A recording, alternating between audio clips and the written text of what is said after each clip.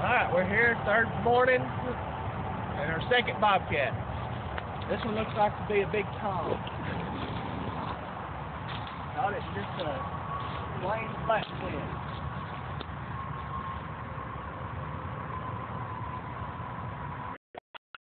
We're down here in Marion County again uh, on a farm right next to the interstate.